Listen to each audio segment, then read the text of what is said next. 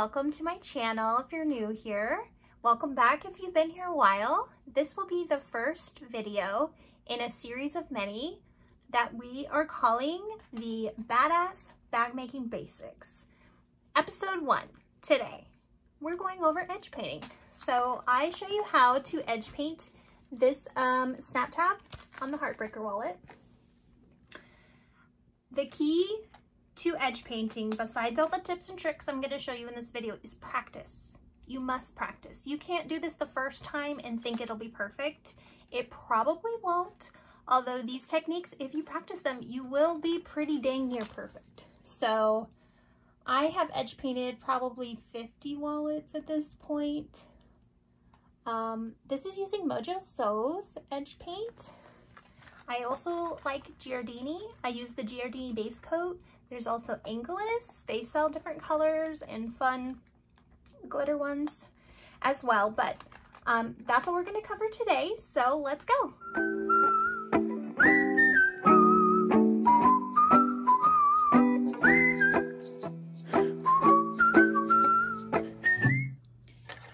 The supplies you need for edge painting um, are going to be some type of roller or applicator for the paint.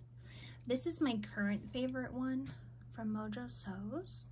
I like this edge to stir it. Some people use this edge to apply the paint. I like this and it spins super nice. There are these kinds as well. Um, I think this one's also from Mojo Sews, but they sell them on Amazon.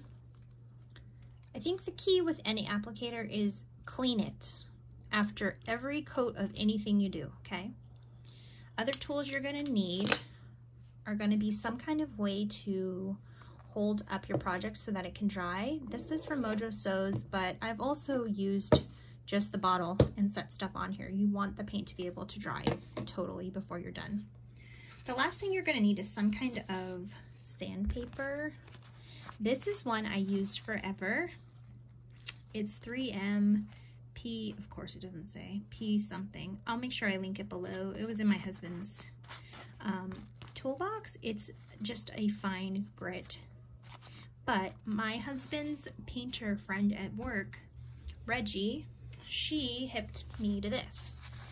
It is like a foam with super fine um, sandpaper on one side. And this is a game changer to me because I can easily bend it as I need to it's so much easier to use. And this stuff is just, it's a different kind of texture. It has like more grit on it or something. I'm not quite sure, but this stuff is amazing. You will need this. Also some kind of paper towel or something to protect your surface with. So today we're going to be edge painting this snap tab I made from Kazcona Designs Heartbreaker wallet.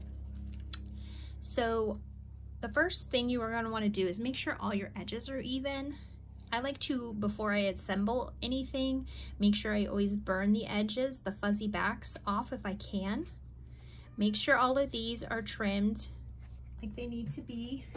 If the even more even you can get the edges, the better. You can also just run a lighter along the edges if you need to, just to make sure everything is okay fuzzies are no good with paint, okay? Okay, so the formula I use for edge painting is three coats of base coat with a sand in between each, and I usually only need one coat of color. I don't ever put any top coat on my color, but you totally could. There are tons available. There's iridescent ones. Um, I really like the paint from Mojo Sews in our um, bag making community. She has tons of amazing colors. We're just gonna do white today. Um, another brand I like is Giardini. And there's one I don't have here, but it's called Angelus. They have a, tons of really cool colors. But this is the base coat I use. Max Matte Dense Base Coat from Giardini. What I like to do is mix this with, I get it from the Buckle Guy. I like to mix it with a little bit of water um, to make sure it's not too thick. If it's thick, you're gonna have lumps and it makes you sand more. So let me get a little container to put this in and we can mix it with some water. Another um, little fun, helpful, useful thing, I got these from the dollar store. They're really nice if you want to custom mix your paint color sets. Mojo Sews has like a primary color set and a color card. So you can literally make any color you want. It's not super easy like just buying the exact shade you want, but you can get an exact color match.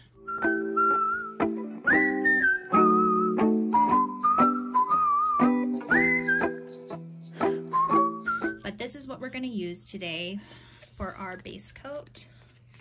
So you can see I I don't buy these in the ginormous bottles because they do tend, it's like glue, right? And they kind of tend to get dried out a little bit and gunk up. Do you see that? Which is normal. But that's why I like to use these little tiny containers. So also a, a tip with edge paint, do not shake it, okay? You do not want to shake it. It puts air bubbles and they're kind of hard to get out, so don't do that. It's always like, do you remember when you were a kid and you'd get the uh, nail polish? Would your mom ever tell you, roll it, roll it? It's the same concept. You would want to roll it to stir it, or you can just like use some kind of stir stick, okay? So here's a little bit of our dense coat, and you can see it's it's kind of thick. I'm gonna wa I'm gonna water it down just a little bit. This is just a bottle of water. You don't need a lot, but it does go a long way. It helps a lot. So you're gonna add a little bit of water and mix. It works for colors as well, but if you have a little bit of a water, waterier base coat, it's easier to put on. And like I said, it won't um, lump up. You do not want the lumps because it takes forever to sand it down. Okay, that looks like a really good consistency. Kind of drippy, but not like water, okay? That's good. So go ahead and wipe this off. I usually like to have a damp paper towel on my work surface. I don't have one right now, but. Okay, so we're gonna do this three times. Here is my, just make sure I don't have anything hanging out here. I clean this every time with that damp paper towel. You can see it here, okay? So I just dip it in and get enough to where it could kind of drip off, but it's not gonna drip off like that. Do you see? You can also kind of get it a little off. Start at one edge. And this is kind of, I use my pinky as a fulcrum, okay? It helps your hand stay steady. Get a little bit on here. You don't want it like massive gobs amounts. The first coat basically will end up soaking in for the most part. But do you see how we just kind of roll it on there? And kind of overlap where you're done. And you don't want to stop because if you stop and start up again in a few minutes even, you will have a noticeable line, okay? It doesn't matter as much here because like I said, this is the first base coat but it's just a good practice to get into. If you see a bubble, try to roll it out. And be mindful, keep an eye out for any drips, okay? Sometimes you get drips.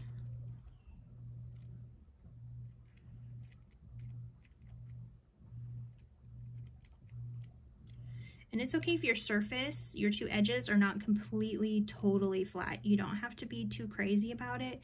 The base coat we will be building up so that it will make an even surface for our final paint color, okay? Now at this point, we're gonna wanna turn it over, but we're still continuing on from where we left off, okay?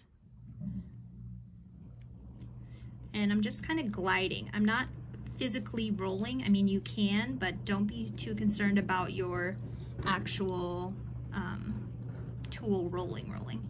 If you get a little on the sides, just wipe it off, okay?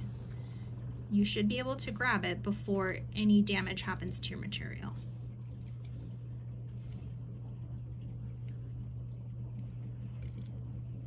I kind of like to wipe it just to make sure anyways, you know.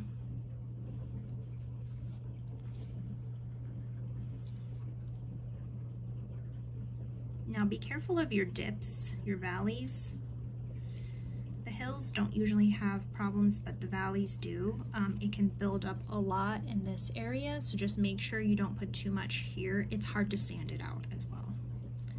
I once did a strawberry stem And it was a nightmare in all those valleys. So just be mindful of not putting too much product there. See I had a little bubble there and I had smoothed it out. But the pinky really does help, okay? And it, it kind of will make your pinky sore if you're doing a lot of edge painting, but it's just what I do. I'm not going to edge paint this very edge here, this back bottom, because it's just going to be in my seam anyways, but I am going to go all the way to the back here. Okay, there she goes. Now we're gonna let her dry. Just keep an eye on it. Make sure you don't have any visible drips. You can already see it's starting to set up right here. See how it's kind of turning milky colored? And it kind of turns matte and it does suck it in. That's fine, that's what you want. We're gonna go ahead and turn the fan on and let this dry. And I'll come back with the sanding of coat one in a sec. Go clean this right now. Right now, go clean this okay? If you do it every time, it doesn't become an issue. So go clean this off. You don't need to wash it. Just get a damp paper towel and wipe away all of your material, okay? I wanted to show you really quick how this cool thing works. So this is like movable, which is awesome. You can buy these at um, like a hardware store as well if they break or anything. Um, we're gonna go ahead and just on this back where it's not painted and I kind of am gonna just like you can see here push it up so I can hopefully get everything to pull this way with gravity and I won't have um, any drips. Like if I tipped it on its side like this I'd probably end up getting a drip here if it was super wet. So it's just something to look look out for. Okay this is dry and you can see it's dry because it's matte see it. Um, it doesn't need any sanding right now in my opinion because it's still at the stage where it's sucking everything in. So we're gonna go ahead and do another coat. Since I just did this a few minutes ago, it doesn't really need to be stirred again.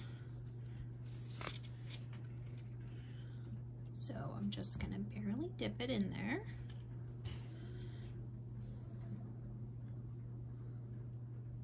And I'm just barely skimming on top of the edge here. Kind of even it out, go back a little. Now we're starting to get a nice build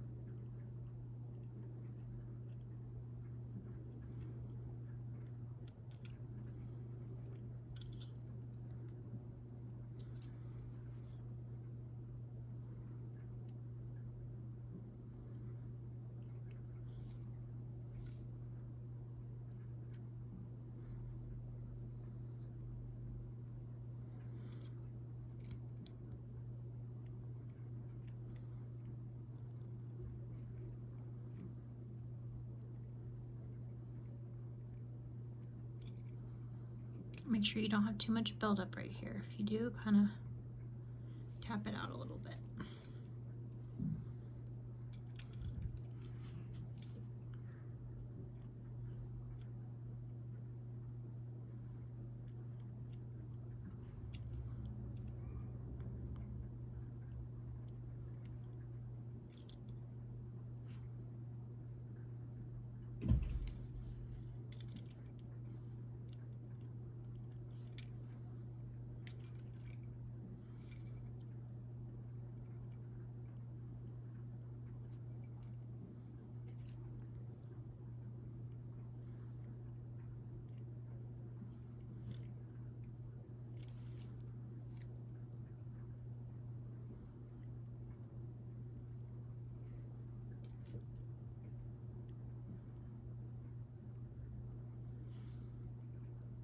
Right, let's let that dry. We will have to, for sure, um, clean your brush, your roller, clean it off. We will have to, for sure, um, sand on this second go around because now you can see it's starting to not um, sink in anymore. My fan is on in my room, so it's kind of drying it. So you have to be quick if you're gonna have a fan on while you're painting. I would advise if you're a beginner, just turn off all fans and then take this to the room with the fan and let it dry in there. But do you see how we have a little lump right here? That is um, what you gotta be mindful of when you're drying. And that's like that from having too much product and then it being upside down when we're painting up here. All right, we're gonna go ahead and put it like this and let it dry again. Okay, at this point you can see this is nice and dry. I can feel it. It doesn't feel tacky. If it feels even a little tacky, do not sand it, okay? But you can kind of see the matteness, how it turns like matte. Do you see? So now we can do a light sanding. I don't really have that many bubbles. Honestly, if I wasn't filming this, I probably wouldn't even sand between this coat. Sometimes it'd be like that. So I'm gonna lightly sand and then we'll do our third, our third base coat and that's good. After three, you really don't need much, especially if you've taken the time to trim up and make sure all the edges are pretty even. Um, sometimes if it's a thicker, um, like when we do the final edge painting on the wallet, it'll be thicker. That might need, uh, you know, maybe a maybe a fourth coat. You just kind of want to build up this edge so that the paint can just glide on and dry and be done. Like I said, I like to do only one coat of color if I can. So let's go ahead and sand this and then we will do our fourth coat, or I'm sorry, our third coat of base coat. Okay, so I just get this little, I'm gonna use this foam super fine and I'm just lightly, lightly rubbing. Like I said, this lady that's been a painter all over the world for like 50 years, she gave my husband this and said it's the best for sanding stuff for painting. And it is. You can see I kind of round this around. Okay, I'm kind of if you're using just regular paper, just kind of make a little, see how it's going over? I kind of do that, okay? Because you kind of want it to be a rounded. And you may get little tiny bits coming up that came onto your exterior vinyl, and that's fine. Just peel them out. I'm just gonna do a light sand. If you have bubbles, sand them away, okay? This is why I said valleys are hard to sand. See how I have this little tiny thing here? Just take it off. That's why I kind of like to wipe if I can. And if you see a bump, just give it a little extra attention. Make sure it's nice and flat.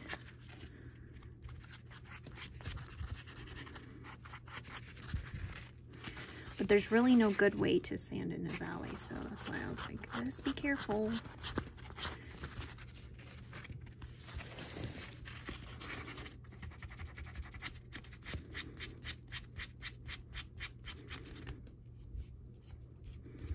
Don't do it too much now because, you know, you want to build up the edge, not take it away if you can help it. And you can see when you sand it, it turns from matte to, you get like this little white. Okay, so just watch what you're doing.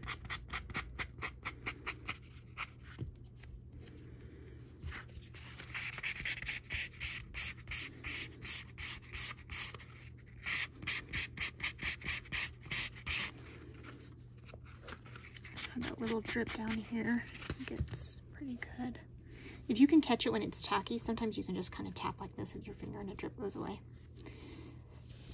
All right, that looks pretty good. Get your damp paper towel. This is important. Do not leave sand and dust on your make before you add another coat, okay? Nobody wants that gritty stuff. If you're having a lot of lumps and having to sand a lot, maybe go sand somewhere else and come back to your painting spot but it is important to wipe off in between in my opinion. All right, let's do our third coat.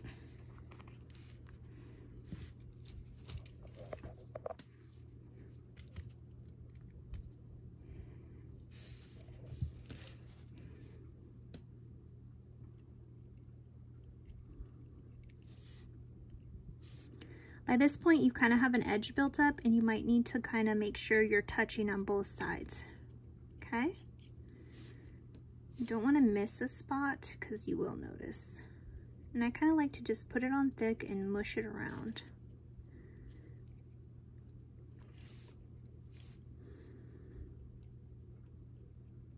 I don't usually physically like roll. And I'll check over here and just see like, oh, it's kind of lumpy right here. Can wipe a little bit.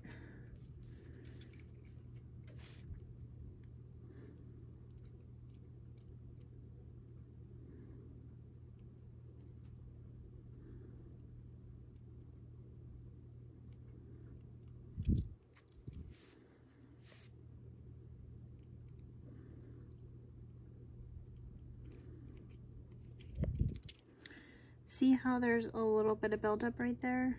You don't want that. Trust me, you cannot sand it that well.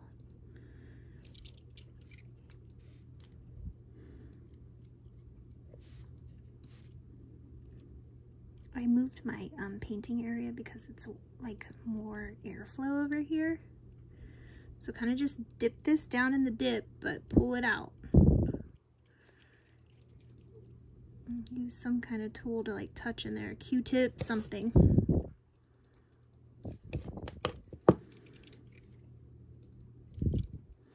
There's like a little bump here. Can you see it a little bit? It's okay. We can sand it off later. Just leave that. Sanding really cleans up stuff nicely. Just get this stuff on there. Oop, went over the edge. Then I just wipe it away.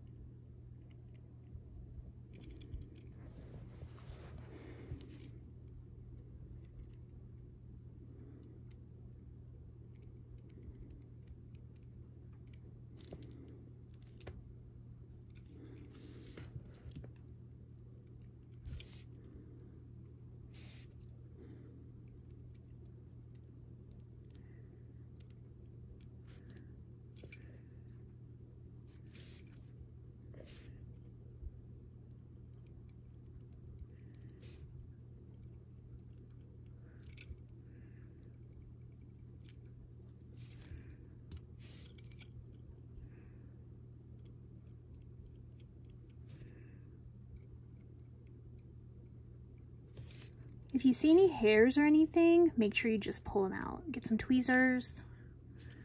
You don't really want to leave those in there if you get little animal furries. Okay, I think that looks pretty dang good. I'm going to clean off my tool really quick.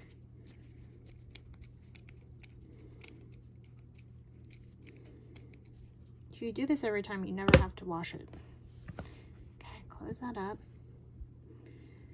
just triple check. Looks pretty good. This little spot right here we'll be able to take care of on our sanding next. My dip doesn't look too bad. I got a little lumpy right in there, but that's fine. We'll be able to sand it out. It does get lumpier the more coats you put, so just be mindful of that. But it looks pretty good. All right, let's go ahead and let this guy dry and I'll be back for final sand and the top color coat. Okay, I'm just gonna use these little tiny scissors and do you see like this little piece of crud here? I'm just gonna trim it. Okay. Go ahead and do your final sand. Just real light, don't push on it too much, okay? Make sure everything looks not lumpy. And I'm barely pressing.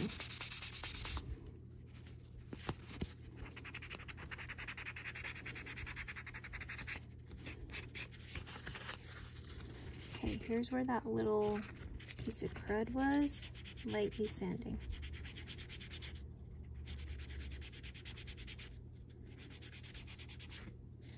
You can see I have like a little lump. Do you see it?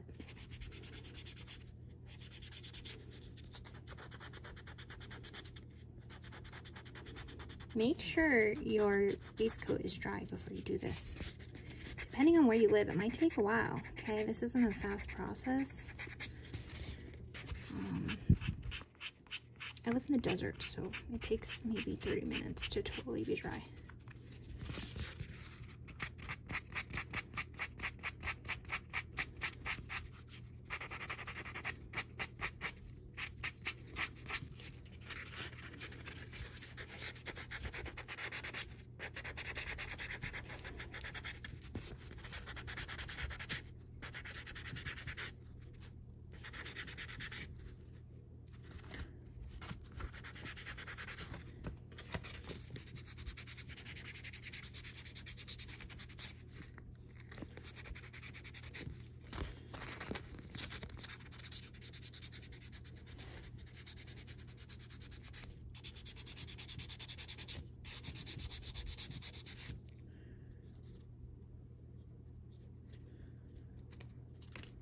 Here's a little tiny piece. There we go.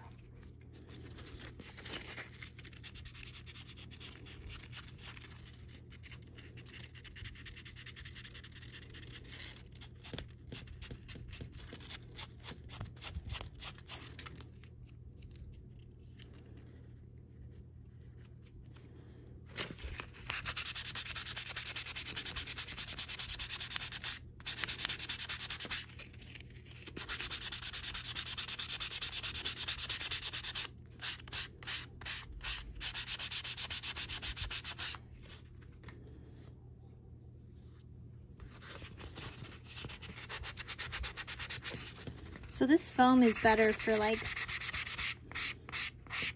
if you have bigger lumps, it seems to take it off faster. This is good for making the round because you can kind of like pull it over like that.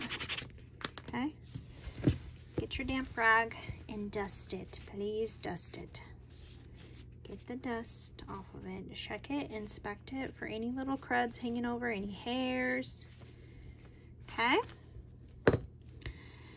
Now we're gonna go in with color. I'm gonna use, I wanted to check my Mojo paint. So you do want a waterier consistency. Sometimes um, Mojo ones get thicker. You can just add water to it. This one looks pretty good. See the consistency? That's what you want.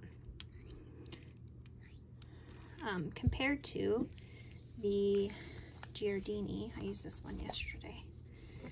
And let me just wipe this off. You see, it's kind of the same. Theirs is a little thicker. They're both great. You just bring something a little different to the table. Okay, we're gonna use Mojo for the purposes of this.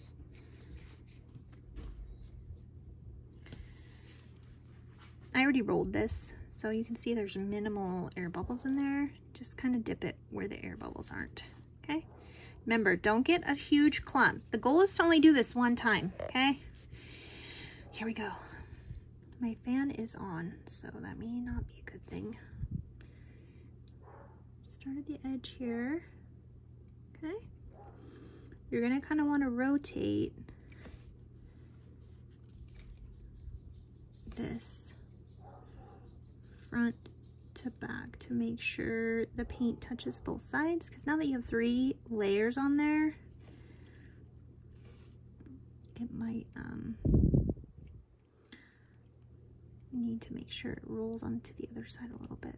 Make sure you get out air bubbles. You'll be very upset if you don't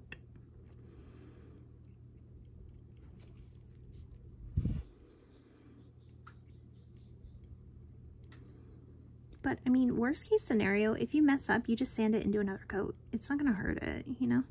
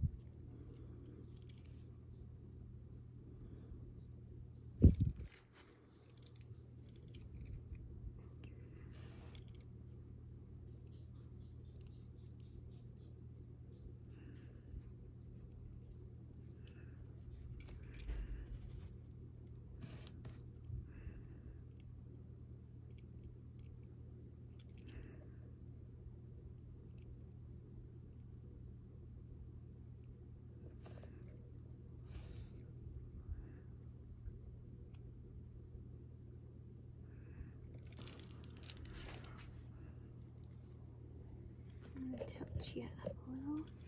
I don't want to touch it.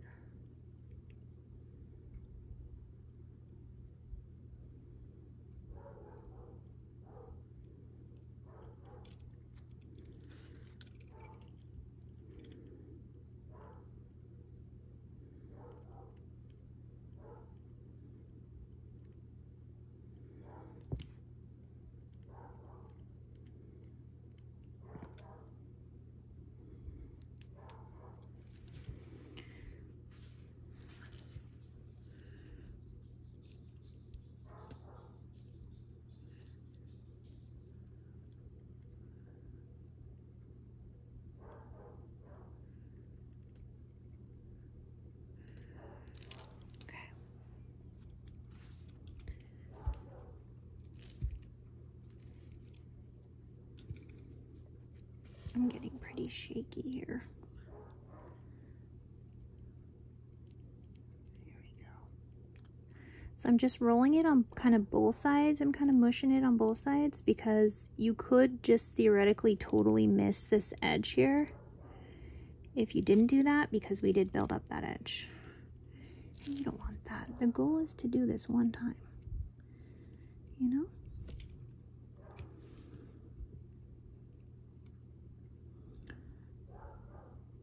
Definitely need to make sure you have enough on your roller brush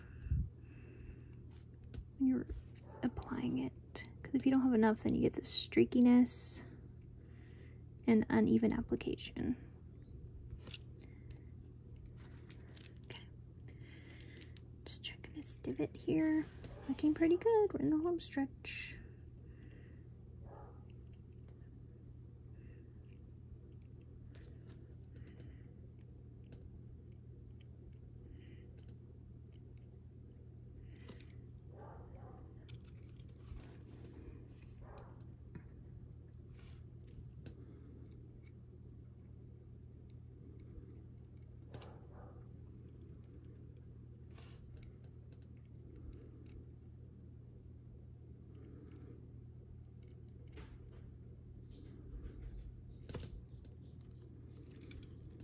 I will note, I've had these edge paints for quite a while, since last year. Um, probably like the middle of last year, and they're fine. I live in the desert, but just so you know, they've lasted just as long as my Giardini ones.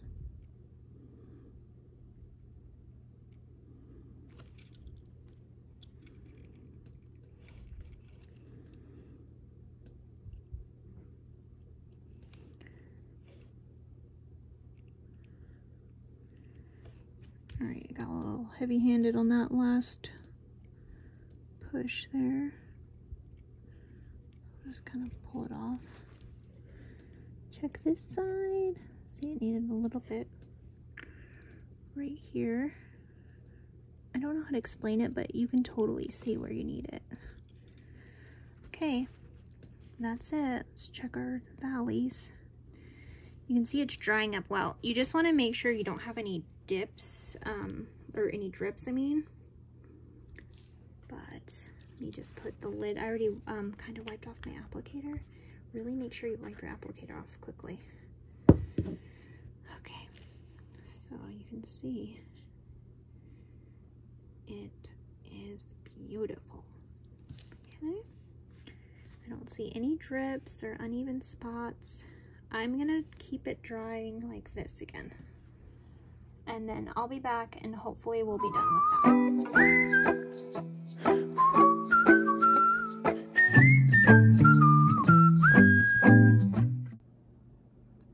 After your paint dries, you can see how shiny and amazing it looks. And now you're ready to install it or just be done with your make. This is just absolutely gorgeous. I love how it looks like it has a gloss on it. Um, I do not remember Giardini doing this. This is no um, gloss coat. This is one one coat of color of Mojo Sews of the white. It's amazing.